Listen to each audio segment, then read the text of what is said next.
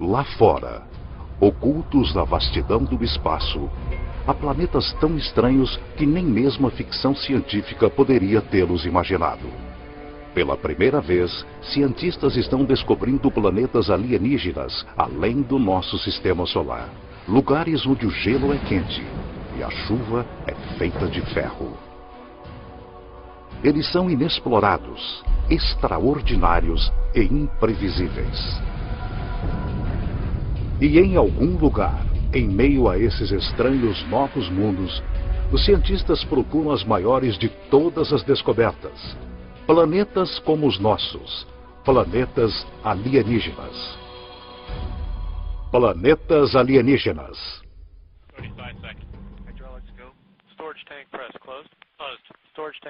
6 de março de 2009.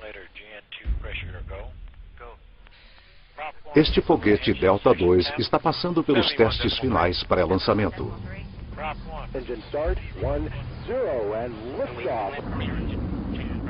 É o início de uma missão extraordinariamente ambiciosa.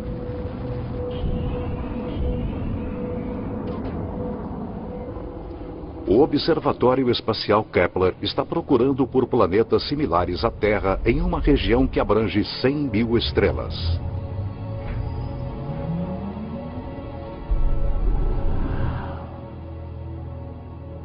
É a culminação de uma jornada que começou há mais de uma década, com uma das mais profundas descobertas científicas jamais realizadas.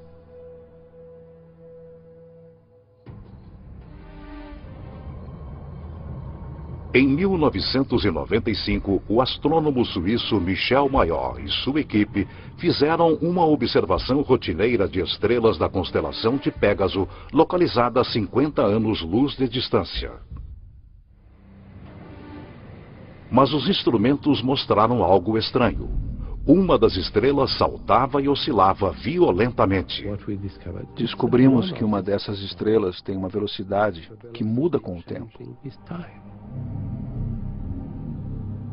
O que seria poderoso bastante para perturbar uma estrela do tamanho do nosso Sol?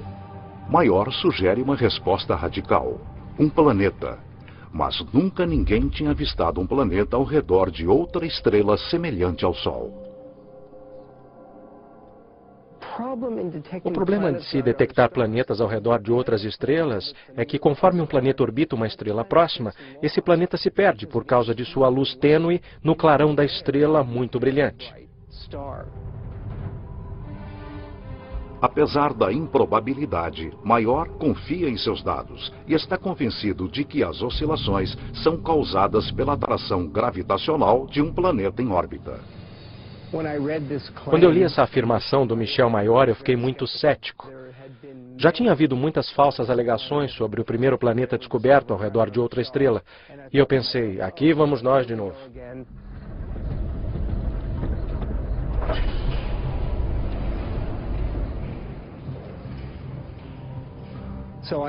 Então eu decidi observar a estrela por quatro noites consecutivas. E, surpreendentemente, ela oscilava exatamente como Michel Mayor havia dito. Michel Mayor e seu colega de equipe Didier Queloz anunciam sua descoberta que agita a comunidade científica. Eles encontraram pela primeira vez evidência reproduzível e confirmável da existência de um planeta ao redor de uma estrela semelhante ao Sol.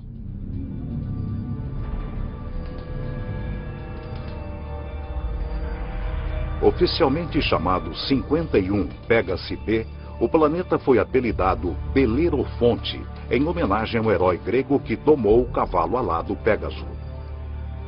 É um planeta que quebra todas as regras.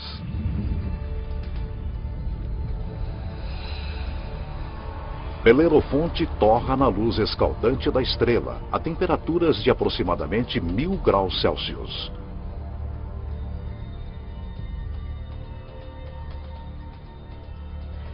Tem quase 150 vezes a massa da Terra e é um gigante gasoso como Júpiter. Um gigante gasoso é um planeta composto principalmente por hidrogênio e hélio. Apenas as camadas exteriores são gasosas, mas por dentro são comprimidos a pressões tão gigantescas que não se parecem nada com gás. Diferente de qualquer coisa encontrada em nosso sistema solar, esta é uma classe completamente nova de planeta, que os cientistas chamam de Júpiter quente. Se formos ao Havaí e observarmos o fluxo da lava de lá, um Júpiter quente é tão quente quanto. É muito quente mesmo.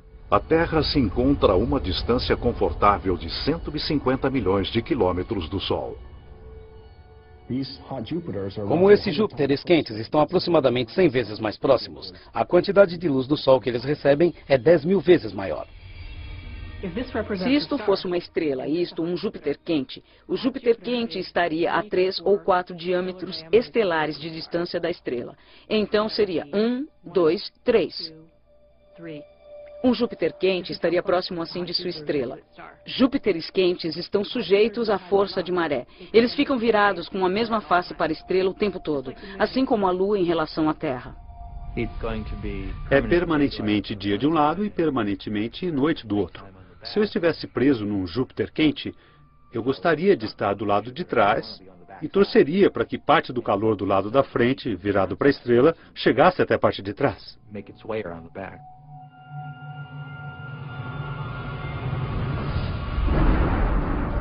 As variações na temperatura causam ventos extremos na atmosfera de Belerofonte. Conforme o ar é cozido pela estrela, ele sobe. Ar mais frio avança para baixo para substituí-lo, assim como acontece na Terra. O vento uiva milhares de quilômetros por hora, muito além de qualquer coisa que poderíamos suportar. As rajadas de calor garantem a inexistência de vapor de água, mas isso não significa que não haja chuva. É quente demais para que nuvens de água se formem aqui. Aqui as nuvens seriam feitas de ferro. O vapor de ferro pode existir a temperaturas bem mais elevadas que o de água. E por isso, as coisas podem ficar um pouco complicadas.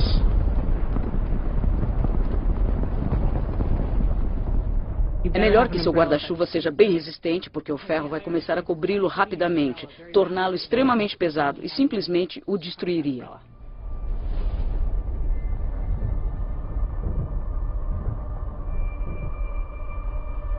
O céu acima se enche de cortinas dançantes de cores. Partículas carregadas da estrela próxima formam auroras bem mais radicais do que a aurora boreal na Terra. Esse planeta recentemente descoberto possui outra característica singular. Belerofonte orbita seu Sol em apenas 4,2 dias. Nenhum planeta que se respeite orbita uma estrela em 4,2 dias. Nenhum dos planetas em nosso sistema solar leva um tempo tão curto. Para os cientistas, a órbita minúscula desafia as noções antigas de como os planetas se formam.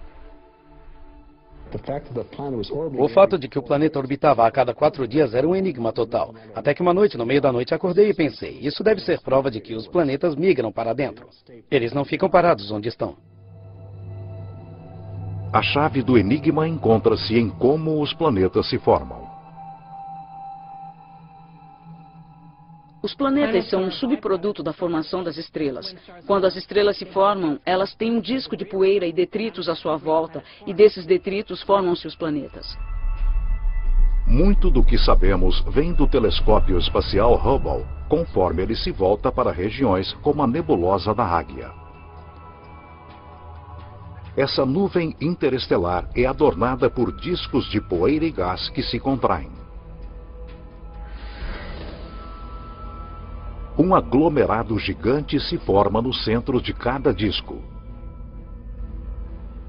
As temperaturas chegam a 10 milhões de graus Celsius. A mesma fusão nuclear que energiza nosso Sol é liberada.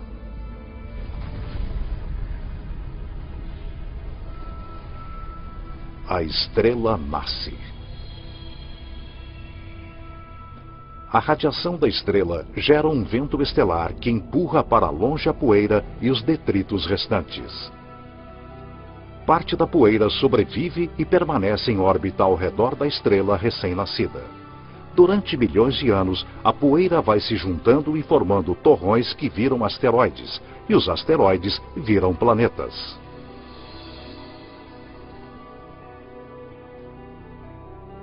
Esses planetas migram através do disco até que encontram uma órbita estável. É por isso que Belerofonte está tão perto de sua estrela-mãe.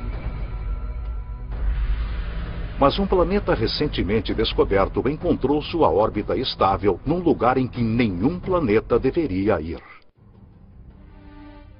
2001 o telescópio espacial Hubble está direcionado para uma estrela obscura a uns 150 anos-luz de distância da Terra na constelação de Pégaso. Essa é a mesma região onde Belerofonte foi descoberto seis anos antes. O Hubble está rastreando outro Júpiter quente descoberto pelo astrônomo Jeff Marcy. Mas esse é diferente de Belerofonte.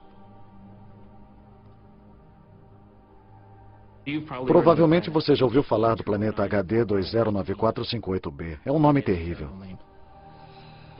Um nome terrível para um planeta terrível.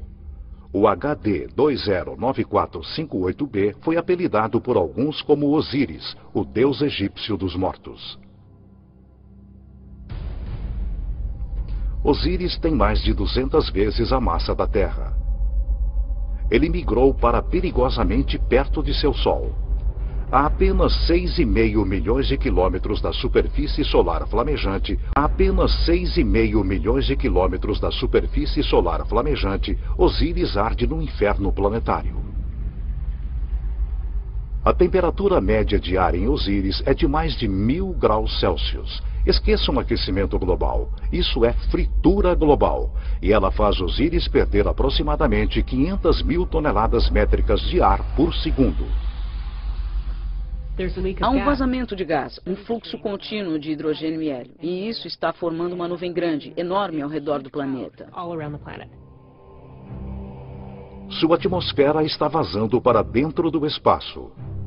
Os cientistas especulam que um rastro colossal de gás esteja movendo-se em espiral através do planeta por milhares de quilômetros. Osíris apresenta para os astrônomos uma oportunidade sem precedentes. Usando o Hubble, eles analisam a atmosfera inchada do planeta alienígena. Esta é a primeira vez que podemos determinar a composição da atmosfera de um planeta extrasolar.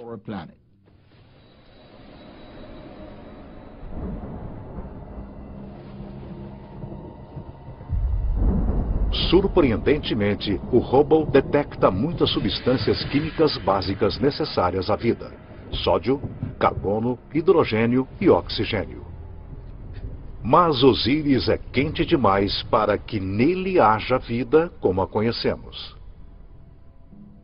No entanto, pode haver outras formas de vida que se desenvolvem em temperaturas mais elevadas.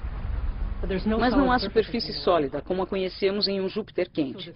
Então essa vida teria que ser de minúsculos micróbios flutuando em aerossóis. E sobre a nossa própria Terra, nós temos vida que flutua pela nossa atmosfera. Mas essa vida não começou lá.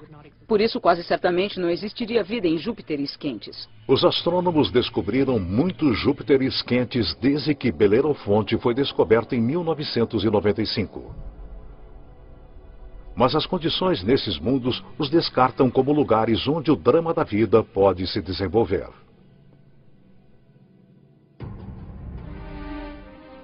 No entanto, um desses gigantes gasosos é um planeta que desafia as regras da evolução. O astrônomo Geoff Marcy descobriu algo surpreendente sobre um planeta que orbita uma estrela chamada 16 Signos B, localizada a cerca de 70 anos-luz de distância na constelação de Cygnus, o Cisne.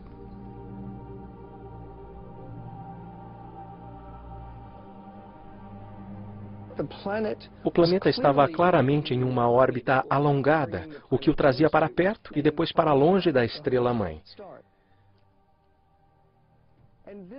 E claro, isso desafiava nossas expectativas baseadas em nosso próprio sistema solar, onde todos os planetas circundam nosso Sol em órbitas quase circulares, como aqueles sulcos em um disco de vinil. Como um gigantesco ioiô no espaço, o gigante gasoso vai para frente e para trás, atravessando o seu sistema solar. Seria como se a Terra fizesse uma investida de mais de 40 milhões de quilômetros para mais perto do Sol e depois ultrapassasse Marte em direção a Júpiter todos os anos.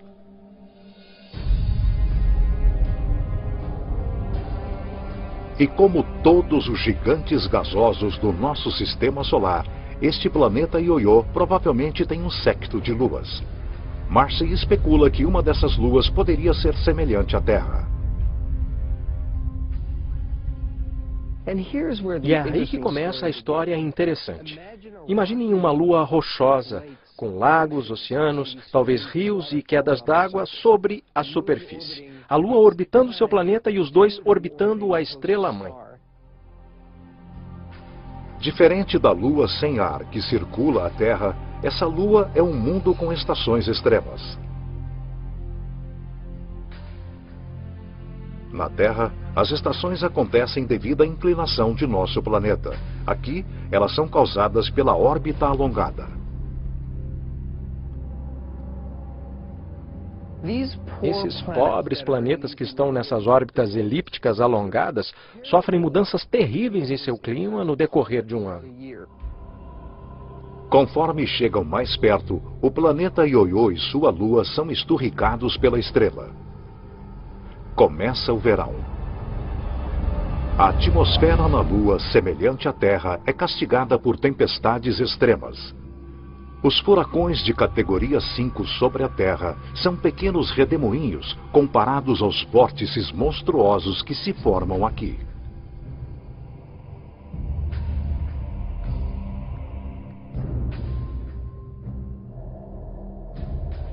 As nuvens ficam mais espessas conforme a água evapora. As temperaturas aumentam dramaticamente. Qualquer água ou gás aqueceriam e de fato, os oceanos ferveriam e virariam vapor. Seria como uma enorme sauna. Durante o pico do verão, toda a Lua é sufocada por temperaturas de mais de 400 graus Celsius.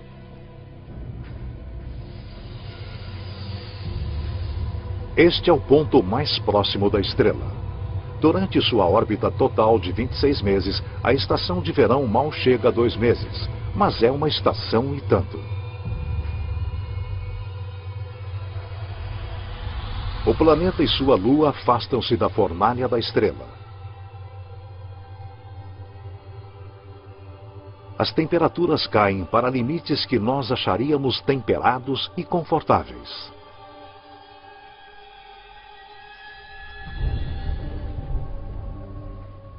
Com a chegada do outono, as chuvas retornam para a lua tostada. As bacias oceânicas secas enchem-se novamente e os mares sobem, formando novas linhas costeiras.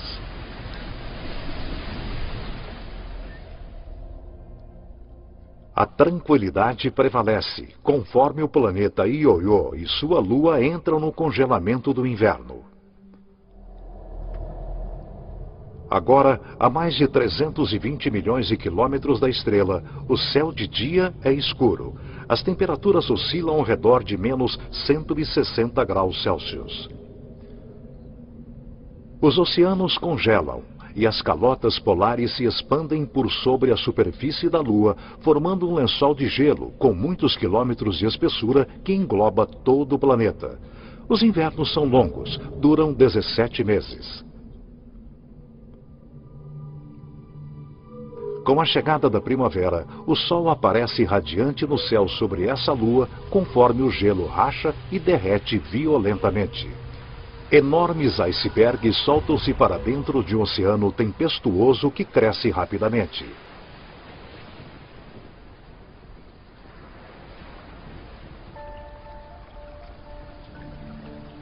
Por dois períodos muito curtos, durante o degelo da primavera e as chuvas do outono, o clima sobre essa lua, semelhante à Terra, fica fresco e confortável. A uma distância de 150 milhões de quilômetros da estrela, aproximadamente a mesma distância entre a Terra e o Sol, a órbita elíptica desse planeta e sua Lua atravessa uma área ao redor da estrela que os cientistas chamam de zona habitável. As condições aqui são perfeitas para a vida. Se você estiver muito perto da estrela, é quente demais. Se estiver muito longe, aí será frio demais e tudo congelará. Mas, se você estiver bem no meio, é perfeito. Toda estrela tem uma zona habitável. A localização dessa região depende do tamanho e da temperatura da estrela. Em nosso sistema solar, Vênus marca a fronteira interna e Marte a fronteira externa. A Terra, com sua abundância de vida, fica bem no meio. O planeta Ioiô atravessa a zona habitável duas vezes por ano, por três meses e meio e durante a primavera, conforme ele corre para dentro. E novamente no outono, por três meses e meio, conforme ele volta apressado para as regiões mais frias do espaço. Poderia a vida sobreviver às condições fora da zona habitável?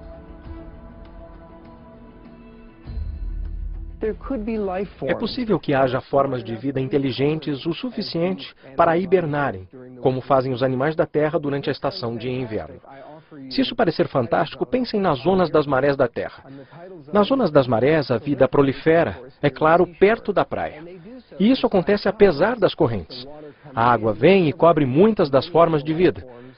Quando a maré baixa, a água retrocede, mas mesmo assim essas espécies sobrevivem perfeitamente bem. O estranho ciclo da órbita do planeta Ioiô cria condições transitórias apropriadas à vida, mas também à morte.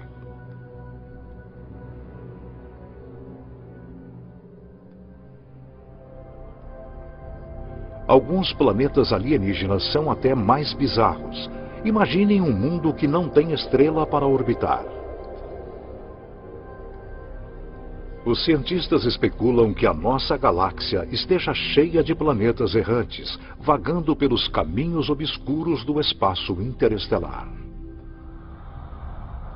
São planetas órfãos, planetas expulsos de seu sistema solar pelo caos da migração planetária. Os astrônomos chamam esses mundos de planemos. Planemos são planetas sem estrela. Eles vagam pela galáxia indefinidamente. Que força gigantesca seria necessária para expulsar um planeta de seu sistema solar? Quando uma jovem estrela se forma, com um contingente de planetas à sua volta, muitos desses planetas interagem uns com os outros gravitacionalmente. Empurram uns aos outros, estilingam uns aos outros, de modo que um deles é ejetado do sistema planetário, eliminado do programa por votação. Se infelizmente você fosse um habitante de um planeta e fosse expulso por uma colisão ou quase colisão contra outro grande objeto, provavelmente se moveria rapidamente para fora da zona habitável. Há centenas de bilhões desses pobres planetas errantes, imprevisíveis e perdidos em nossa galáxia, a Via Láctea, sem uma estrela-mãe para, uma estrela -mãe para lhe dar amor.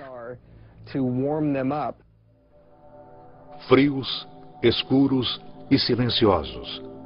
Como os planemos não têm sol, eles são mundos sem dias nem anos.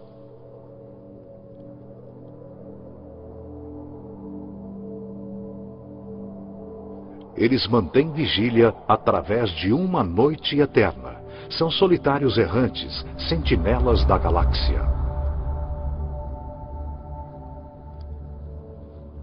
Mas o fato de um planemo estar lá vagando pelo espaço não significa que ele esteja morto. Se o planema for um mundo rochoso, ele pode ter vida. Um pequeno planemo rochoso, sem atmosfera, hibernará sob um frio extremo, bem mais frio que o dia de inverno mais frio do nosso Polo Sul. Mas um planemo grande o suficiente para reter uma atmosfera retém o calor gerado quando o planeta se formou. É o exemplo máximo do efeito estufa. O calor e a energia vêm do núcleo liquefeito bem do centro do planeta solitário. Se o planemo for um gigante gasoso, como Júpiter, ele pode ter um sistema de luas, a atração gravitacional entre o planemo e suas luas cria fricção, fazendo com que o interior dessas luas permaneça quente. Essas luas também podem ter vida, da mesma forma que a lua de Júpiter tem vulcões e muita energia em forma de calor gerada pelas interações com Júpiter e as outras luas. Se alguma coisa vive aqui, são organismos unicelulares, como as bactérias comuns encontradas na Terra e não formas de vida complexas. Sem um sol para propiciar fotossíntese, esses minúsculos organismos obtêm sua energia da química do solo do planemo ou de sua lua.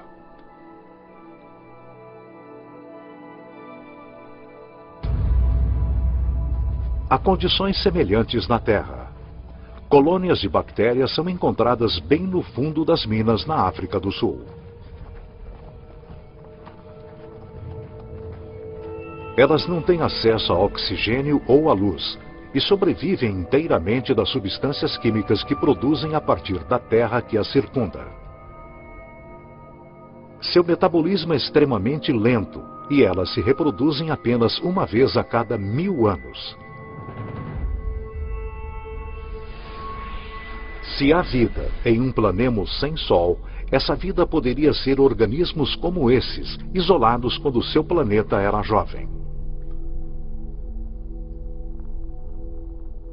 Enquanto os planemos adormecem sem serem perturbados, um mundo vem sendo destruído por mudanças caóticas desde o início dos tempos.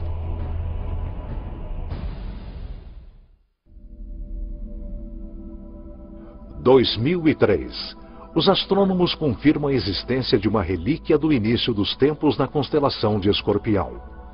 A maioria dos planetas encontrados fora do nosso sistema solar está localizada no disco principal da nossa galáxia.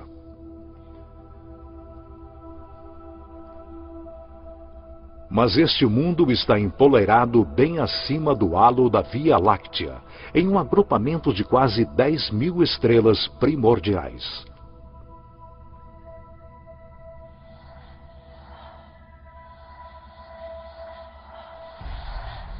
O planeta B162026 é mais conhecido por seu nome não oficial, Planeta Matusalém, a pessoa mais velha da Bíblia.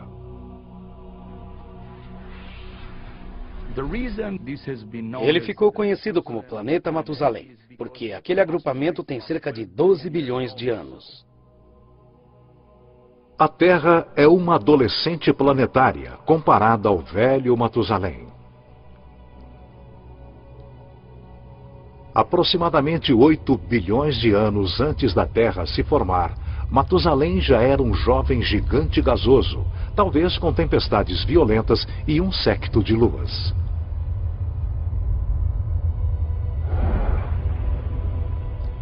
Os eons passam e os ventos e as tempestades diminuem, deixando para trás um mundo pacífico. De repente, duas estrelas surgem no céu. Elas são os centros queimados de estrelas mortas há muito tempo, assombrando o agrupamento. No ambiente muito denso de um agrupamento globular, há muitas colisões estelares e quase colisões, sistemas em que uma estrela é chutada para fora e outra é chutada para dentro. Em uma dança cósmica de gravidade semelhante à migração de planetas, uma das estrelas é expelida e substituída pela estrela-mãe de Matusalém. Matusalém agora é um planeta com dois sóis. Todos os dias há duas alvoradas e dois ocasos. Todas as nuvens e todos os objetos projetam duas sombras.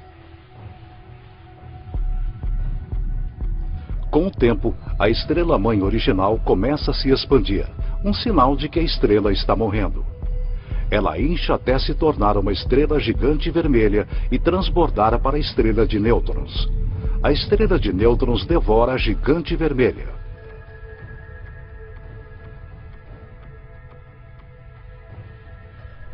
Hoje, Matusalém é um mundo aprisionado pelos esqueletos de duas estrelas mortas, o núcleo despido da gigante vermelha e sua acompanhante, a estrela pulsante de nêutrons. Matusalém é um sobrevivente. Mas nada se compara à estranha anomalia de um pulsar, cerca de 980 anos-luz de distância da Terra na constelação de Virgem.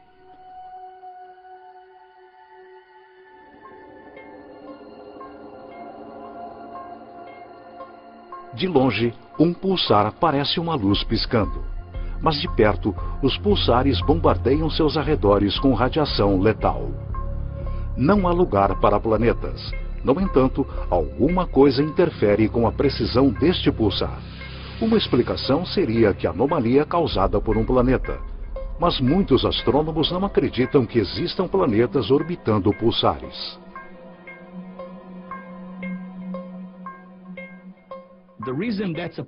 Isso é um problema, porque os pulsares são formados em explosões incríveis.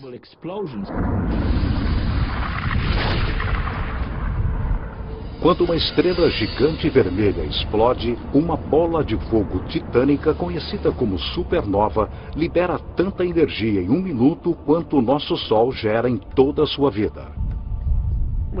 Quando uma estrela vira supernova, a onda de choque é tão imensa que é difícil imaginar que qualquer planeta sobreviva a ela. Quando a poeira cósmica se dissipa, tudo o que resta é o núcleo destruído da gigante vermelha, pulsando no centro de um campo de detritos em expansão.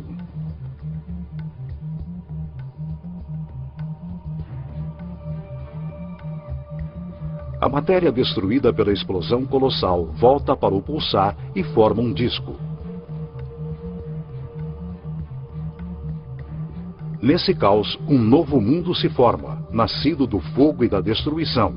Um zumbi planetário surgido da carcaça da ex-estrela gigante vermelha. É incrível que planetas possam se formar nesse ambiente. Um planeta que orbita um pulsar nos dá a impressão de estarmos numa discoteca com uma luz estroboscópica bem forte, que é o pulsar.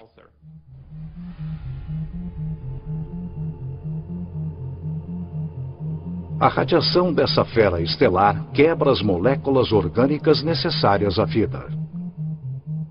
O pulsar tem campos magnéticos muito fortes, que giram conforme a estrela gira rapidamente e suga qualquer material, elétrons, prótons, e os acelera e os arremessa para fora em alta velocidade. É como um, um vento solar violento.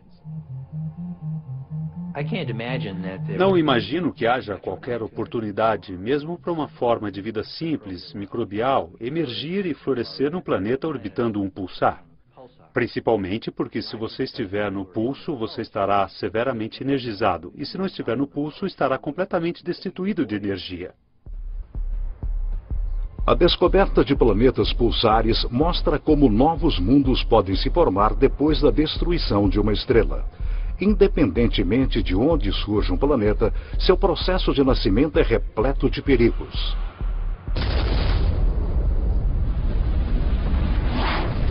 Às vezes, a violência é tanta que o fim do mundo chega antes de seu início.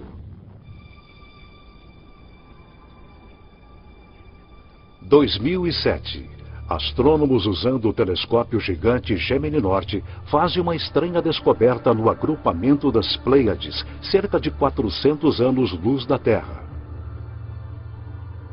Uma estrela conhecida apenas por seu número de catálogo, HD 23514, é cercada por uma nuvem gigante de poeira e gás com um formato de uma rosca. A estrela no centro dessa formação tem cerca de 100 milhões de anos um bebê cósmico em termos astronômicos. O nosso Sol é 45 vezes mais velho. As condições são perfeitas para que se formem planetas. Mas a análise espectral descobre algo estranho. a poeira está completamente pulverizada.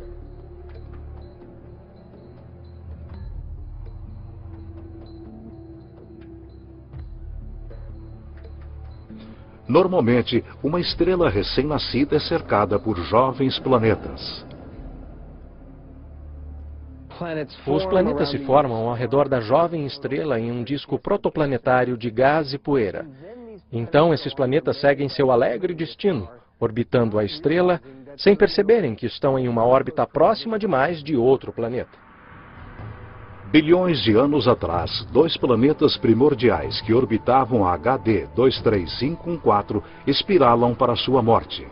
Conforme os dois mundos se aproximam, as forças das marés achatam cada planeta do formato de esfera para o formato ovalado. As forças das marés achatam cada planeta do formato de esfera para o formato ovalado.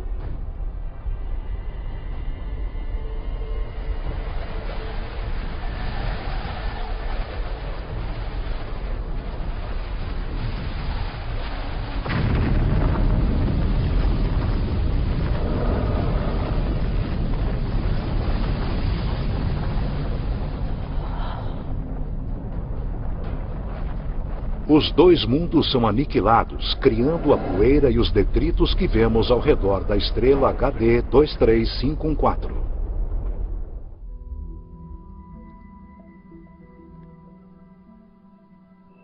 Há um novo planeta lá fora, um planeta cuja existência antes desconhecíamos. Não é apenas um planeta, é um novo tipo de planeta. Terra sob asteroides. Gosto de chamá-los de superterras. Eles são como a Terra, só que maiores com até 10 vezes a massa da Terra. Uma das famílias de superterras se parece com a nossa própria Terra, continentes, oceanos. Algumas podem ser muito secas, como Marte. E também tem outra família que chamamos de mundos aquáticos, ou planetas oceanos, que são completamente cobertos por água. Bem-vindos a Gliese 581C.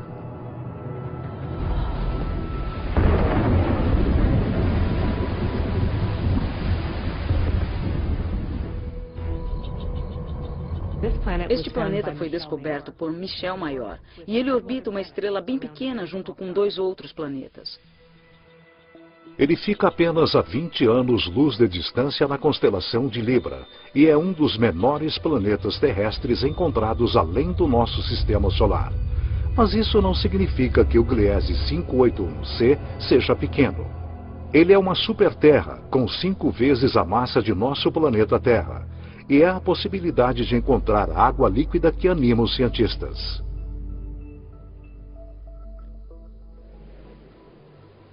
Um planeta oceano dá a sensação de estarmos no meio do Oceano Pacífico, sem terra à vista, só água. Acima, nuvens brancas volumosas e céu azul. Os ventos sobre o mundo oceano são semelhantes aos da Terra. É um ótimo lugar para se velejar. O clima é absolutamente perfeito. Todos os dias o céu está azul e o sol fica sempre no mesmo lugar. Assim fica fácil fazer a previsão do tempo. Não há terra em lugar algum, nem bem abaixo da superfície.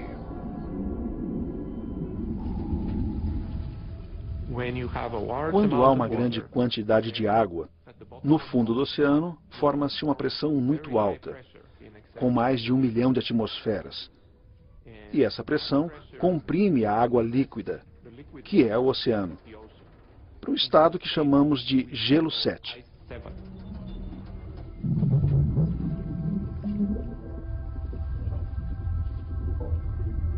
Não é como o gelo da nossa geladeira.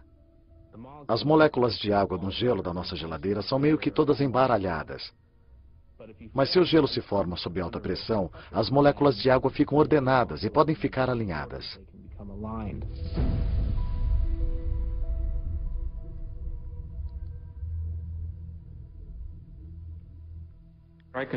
Posso mostrar um cristal que é um bom equivalente ao gelo 7 alita, também conhecida como sal de rocha. Pode ser que o gelo 7 exista em nosso próprio sistema solar.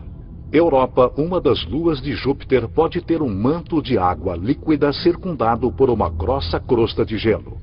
A pressão da crosta é tão grande que pode existir gelo 7 bem no fundo desses mares desconhecidos. Se nós aumentarmos a escala e degelarmos Europa, ela pode ser um mundo aquático semelhante a Gliese 581c. Podemos imaginar que a vida possa surgir no mundo aquático, afinal, a água é essencial à vida sobre a Terra. Em todo lugar no nosso planeta onde há água, há vida. Não encontramos uma gota d'água estéril sobre a Terra, a menos que a coloquemos no forno de microondas.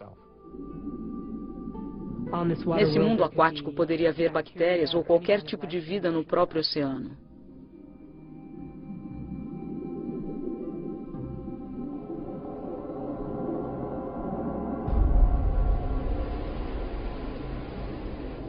Mas nem todas as superterras são mundos aquáticos repletos de vida. Quando falamos de superterras, falamos de duas famílias principais. Em sua maior parte rochosa, com um pouco de água, e em sua maior parte aquática, com um oceano sem fim.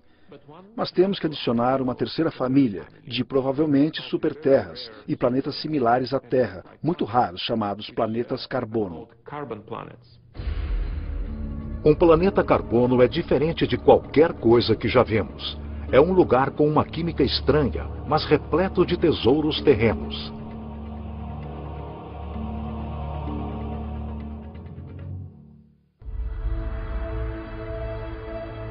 Por toda a nossa galáxia, há planetas que são áridos, pobres e inóspitos. Mas a ciência está na trilha de um novo tipo de planeta, um mundo inteiro de tesouros. Em nosso sistema solar, em nosso Sol e em todas as estrelas próximas, há sempre mais oxigênio do que carbono. Mas se pensarmos em um lugar no universo onde há mais carbono que oxigênio, a formação desse planeta será bem diferente. A análise espectral mostra que o carbono é bem mais abundante quando a 26 mil anos-luz de distância do centro de nossa galáxia. Os planetas que se formam aqui podem conter uma fartura de carbono. O céu matutino de um mundo de carbono seria qualquer coisa, exceto límpido e azul. Eu imagino uma névoa amarela com nuvens pretas de fuligem. E conforme penetramos mais na atmosfera, eu imagino lagos feitos de compostos como metano ou gasolina. Imagino esses poços borbulhantes, mal cheirosos de lodo negro, como poços de petróleo like an oil well.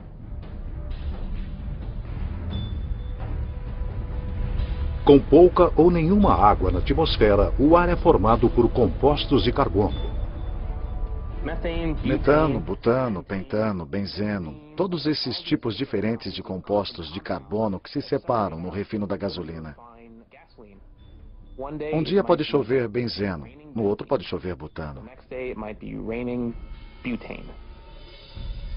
Por mais estranhos que possam parecer os planetas carbono, a qualidade do ar neles pode parecer familiar para alguns.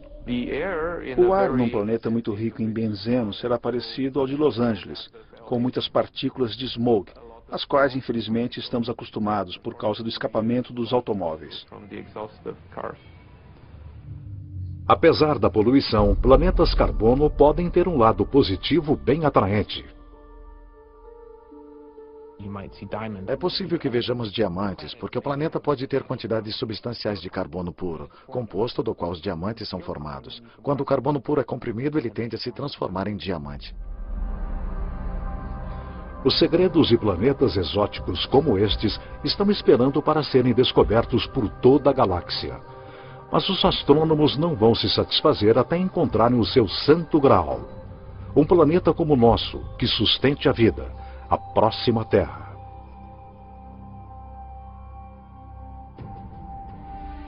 Sempre me perguntam se eu acho que vamos encontrar outro planeta como a Terra. E eu respondo, com certeza.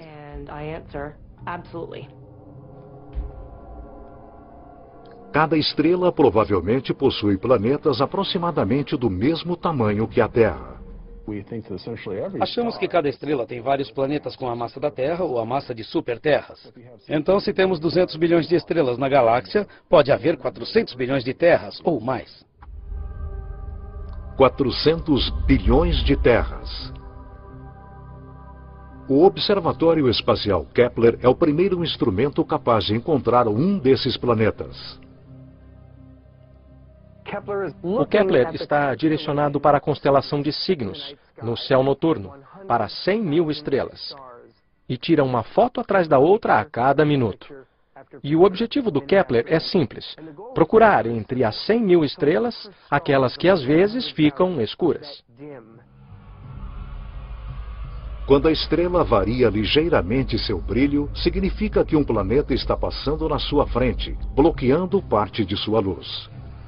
O tempo durante o qual a estrela fica sem brilho e a quantidade de luz bloqueada dizem aos cientistas o tamanho do planeta e sua distância de seu Sol.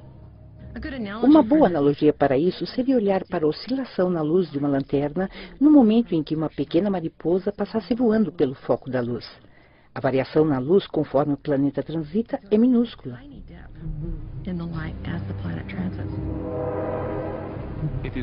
É uma técnica muito poderosa, porque permite descobrir planetas que são até menores do que a Terra ao redor de estrelas semelhantes ao Sol. É uma técnica que está mudando o curso da ciência. Achamos que poderemos encontrar um planeta habitável nos próximos anos. Os cientistas estimam que a missão Kepler encontrará um mínimo de 50 terras alienígenas.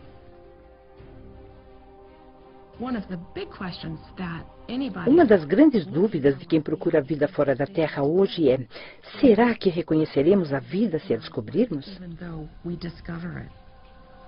As condições em uma Terra alienígena podem fazer com que a vida evolua de forma diferente. Minha esperança é que vamos ver algum sinal que nos arrepiará totalmente. Seja qual for esse sinal, será o primeiro capítulo da maior história científica jamais contada. Versão Marshmallow São Paulo. Próxima quarta em Tabu América Latina. Rituais entre a vida e a morte no Nat Geo.